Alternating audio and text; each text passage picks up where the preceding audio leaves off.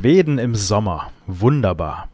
Ihr seht es am neuen Intro. Ich bin mit einer neuen Maschine unterwegs. Seit Anfang Juni bin ich stolzer Besitzer einer BMW R1250 GS.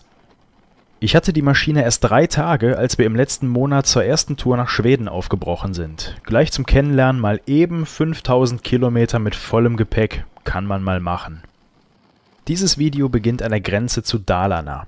Ich fahre in Schweden extra immer so weit wie es nur geht nördlich und ab Dalarna hat man endlich das richtige Schweden erreicht.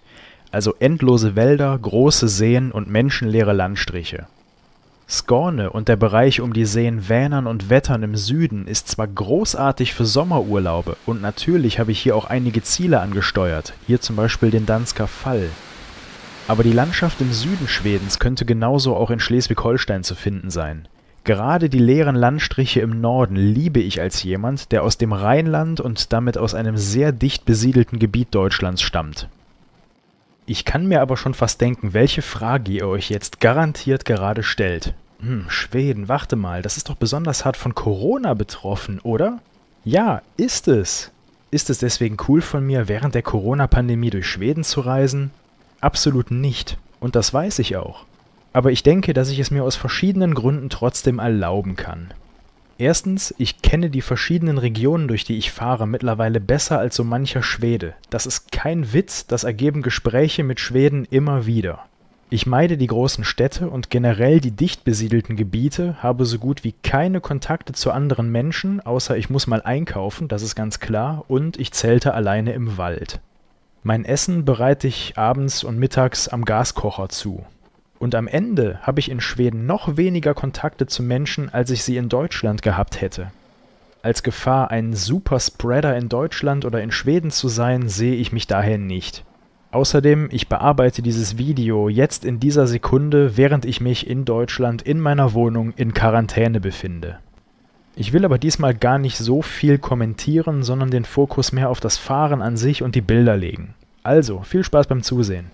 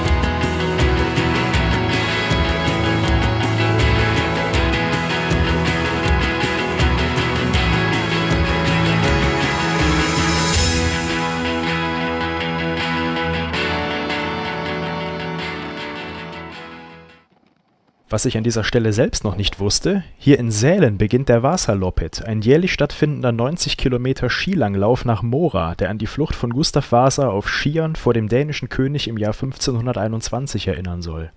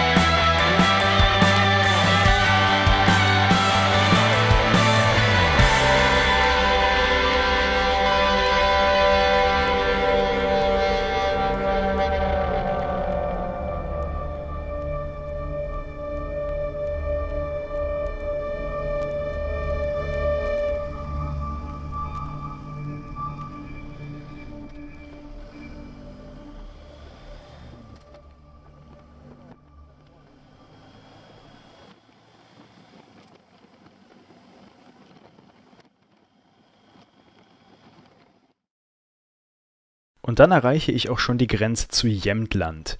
Du weißt genau, dass man in diesem Land gerne auf die Jagd geht, wenn quasi genau auf der Grenze, mitten im Nirgendwo, ein erschossenes Verkehrsschild steht. Zeit für die Mittagspause. Gekocht wird standesgemäß mit frischem Fjellwasser, bald habe ich es geschafft, mal aus jedem Tümpel Schwedens getrunken zu haben.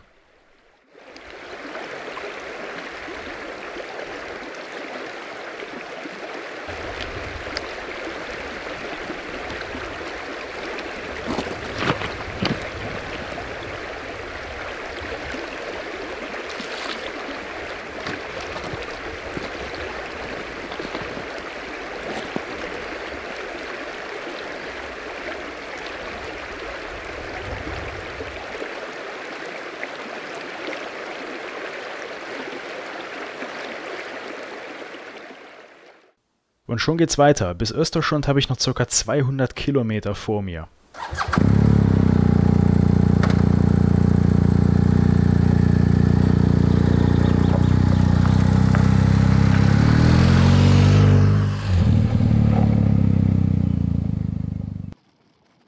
Aber woran man ansonsten in Schweden auch noch bemerkt, dass man in ein anderes Bundesland gekommen ist, die Straßenqualität ändert sich schlagartig. In diesem Fall leider zum Schlechteren.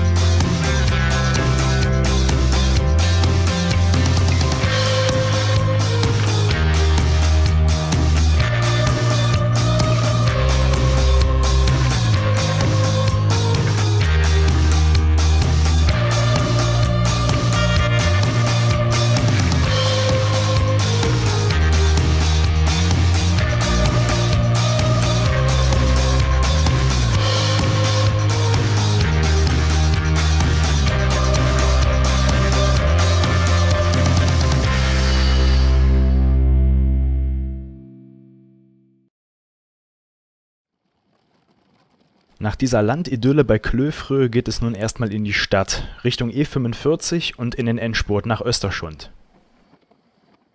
Bisher habe ich die Nächte immer im Zelt verbracht. Für zwei Nächte in Österschund habe ich mich jetzt aber aus nostalgischen Gründen in einer eigenen Hütte auf dem Campingplatz einquartiert. Hier habe ich von August 2016 bis Juli 2017 gewohnt, während ich an der lokalen Uni meinen Abschluss gemacht habe. Hier nur kurz die Füße hochgelegt und schon geht es am Abend wieder zurück auf die Straße. Mal sehen, ob ich an den typischen Stellen im Fjell rund um die Stadt ein paar Elche finde.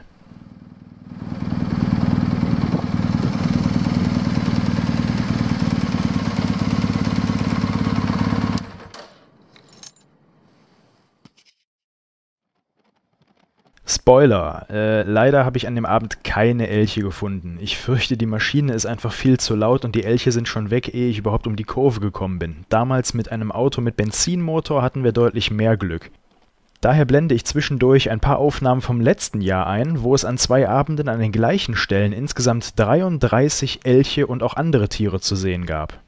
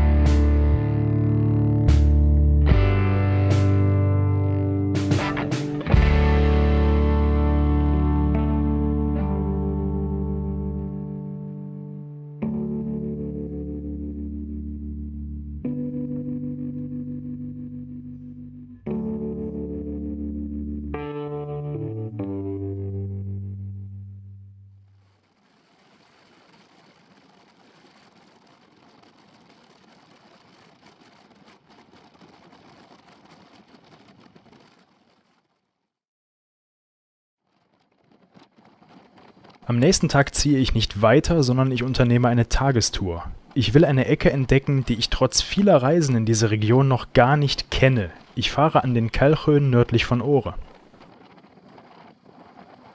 Vorher habe ich aber noch einen Fototermin mit dem Motorrad an einer ganz bestimmten Stelle, die ich noch von früher kenne.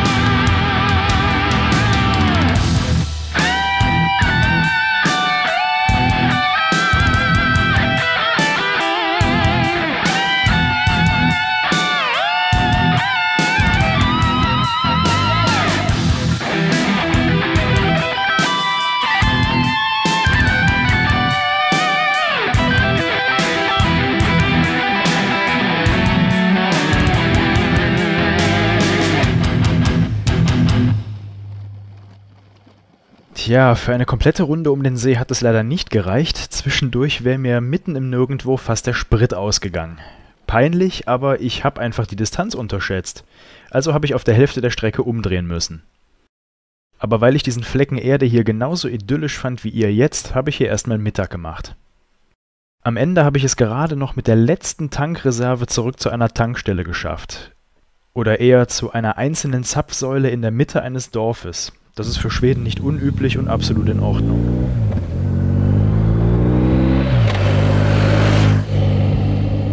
Einen zweiten Anlauf um den See gab es dann aus Zeitgründen aber nicht mehr. Ich fuhr stattdessen in ein anderes Fjell, nämlich rüber nach Büdalen. Da gibt es um diese Jahreszeit herrliche Ausblicke auf den Storchön und außerdem eine herrliche Strecke zu fahren.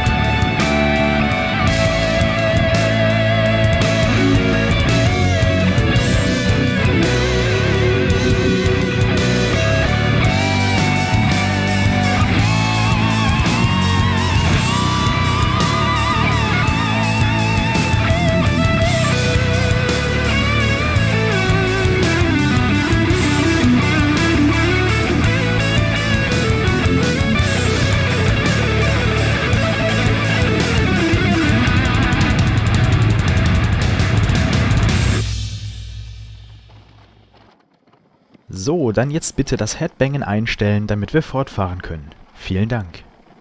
Zum Abschluss dieses schönen Tages fahre ich jetzt noch mit der Fähre über den See. Damit man hier als Pendler nicht einmal komplett um den fünftgrößten See Schwedens fahren muss, fahren hier nämlich in schneller Frequenz zwei kleine Autofähren. Und das vollkommen kostenlos. Für mich auch immer wieder ein Highlight, besonders bei so schönem Wetter wie heute. Und im Winter kann man hier stattdessen mit seinem Auto direkt über den zugefrorenen See fahren.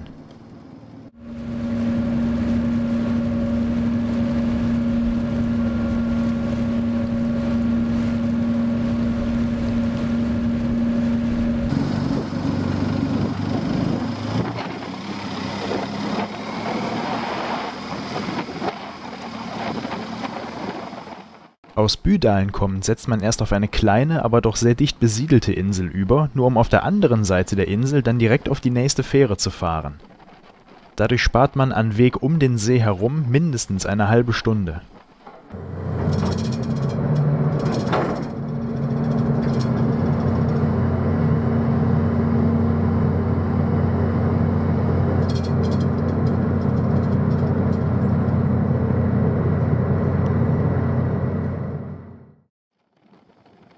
Aber ganz zu Ende ist der Tag auch nach der Fährfahrt noch nicht, denn in der Abenddämmerung bin ich wieder auf Elchjagd. Und diesmal sehe ich auch tatsächlich einen. Aber leider hat der Kamerad sich schon längst getrollt, noch ehe ich die Kamera draußen habe. Es ist hier im Video gerade ca. 22 Uhr und die Sonne steht immer noch so hoch, wie ihr hier seht. Zwar bin ich hier noch so weit südlich, dass sie auch im Sommer komplett hinter dem Horizont verschwindet, dafür bleibt es aber die ganze Nacht über annähernd taghell. Eine Freundin hat mich gefragt, ob man eigentlich Probleme mit dem Schlafen bekommt, wenn es im Norden im Sommer nicht mehr so richtig Nacht wird. Tja, Luzi, was soll ich dir sagen? Ich find's total klasse. Für mich ist gerade das mit das Schönste am ganzen Sommer. All die Tiere, die man sonst in der Nacht nicht sieht, stehen jetzt am Straßenrand und in den Feldern, problemlos sichtbar. Elche, Rentiere, Rehe, Füchse, alle kommen aus dem Wald. Und der Himmel behält einen ganz besonderen Farbton, wenn es wolkenlos ist. So eine Farbe hat man im Süden nicht. Deswegen bin ich nachts auch gerne in den Wäldern unterwegs. Ich suche die Tiere und genieße die Ruhe. Denn es ist ja schließlich Nacht. Die meisten Menschen sind trotz der Helligkeit im Bett und man ist fast alleine. Ein schwedischer Kommilitone an meiner Uni in Schweden hat es mal so beschrieben: You get a shitload of energy. Und ich selbst könnte es nicht besser beschreiben. Probleme mit dem Schlaf habe ich übrigens trotz der Helligkeit keine. Wenn ich müde bin, schlafe ich zu jeder Uhrzeit sehr gut. Und ansonsten investiert man halt ein paar Euro in gute Vorhänge.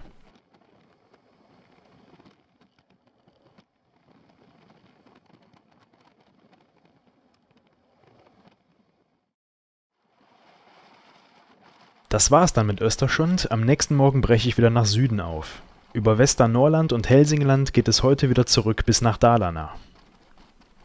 Und hier in Brecke, übrigens eine furchtbar hässliche Stadt, kann ich niemandem empfehlen. Äh, hier lässt sich schon erahnen, was mir gleich blüht, nämlich der Sonnenschein der letzten Tage wird durch Starkregen abgelöst.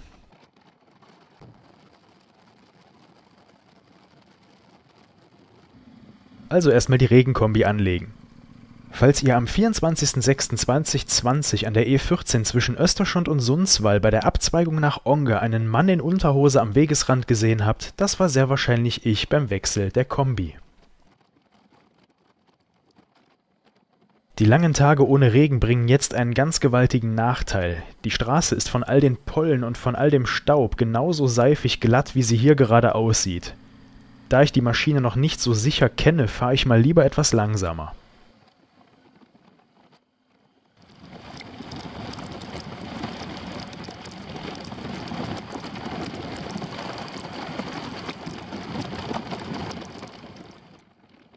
Hinzu kommt ein absolut schwedisches Phänomen: Längsrillen in der Straße. Die entstehen durch Schneeschieber, die hier im Winter das Eis von der Fahrbahn kratzen und dabei auch einen Teil von dem Asphalt mitnehmen, denn schwedische Straßen werden nicht gesalzen. Jetzt mit dem Regen rutschen meine Reifen zwischen den Rillen immer wieder hin und her. Ich habe keine Ahnung, ob der jetzt aufnimmt oder nicht ehrlich, das ist mit den Handschuhen zum Kotzen.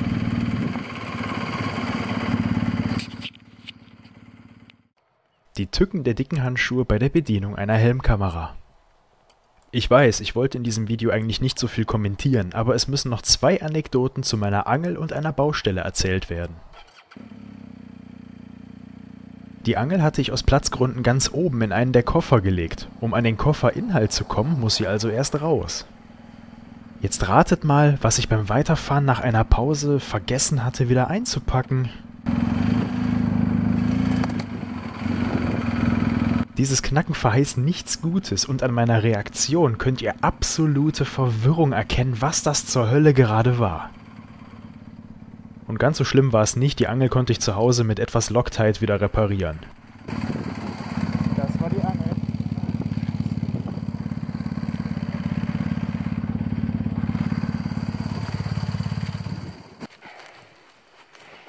Zweiter Versuch.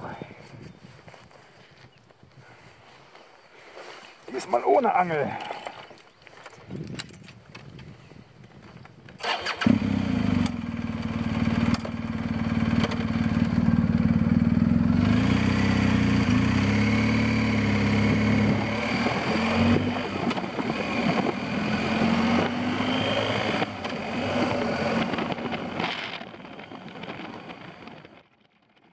Bleibt noch die Sache mit der Baustelle an der Landstraße mitten in der Einöde. Die Schweden sind absolut schmerzfrei. Bei einer Fahrbahnerneuerung wird einfach der alte Asphalt abgefräst und stattdessen Schotter aufgeschüttet. Normalerweise kein Problem. In diesem Fall ist der Schotter aber teilweise Golfball groß und meine Maschine mit maximaler Zuladung nicht gerade leichtfüßig. Den drängelnden Taxifahrer hinter mir lasse ich lieber erstmal durch.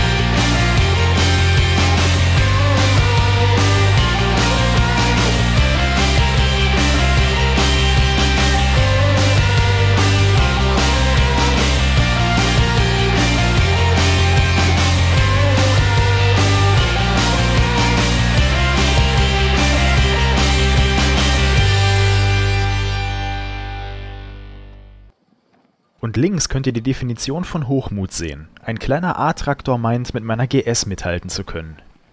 Nee, Jung, sorry, aber dich zersäge ich noch im Standgas.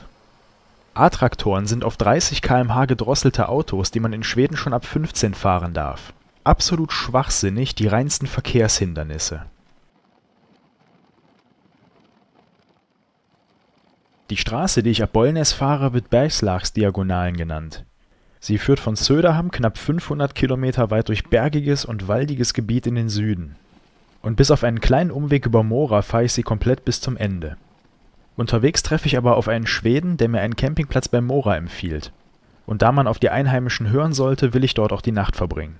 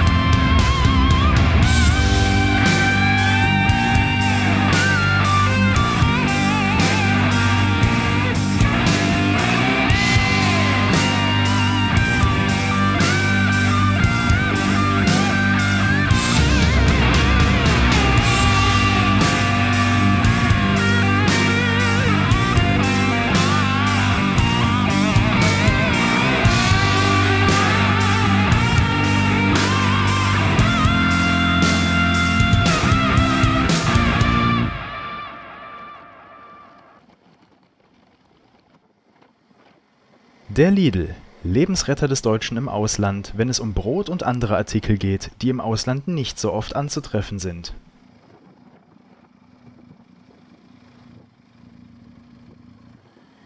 Ab Borlänge fahre ich jetzt den Rest des Tages wieder auf der Bergslagsdiagonalen Richtung Süden. Und ab hier wechselt die Straße in der Optik immer wieder zwischen Autobahn und Landstraße. Je südlicher ich komme, desto mehr dominiert die Autobahn.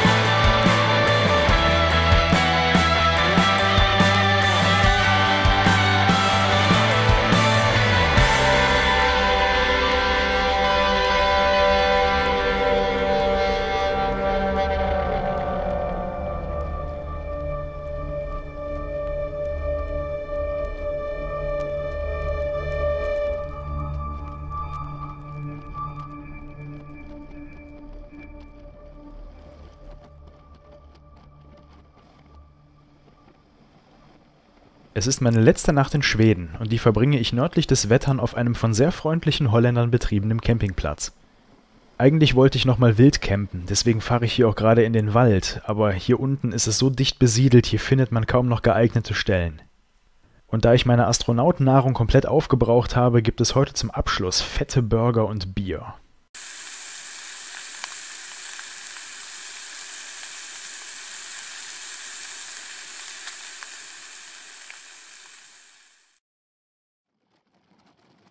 Der nächste Tag führt uns immer weiter nach Süden.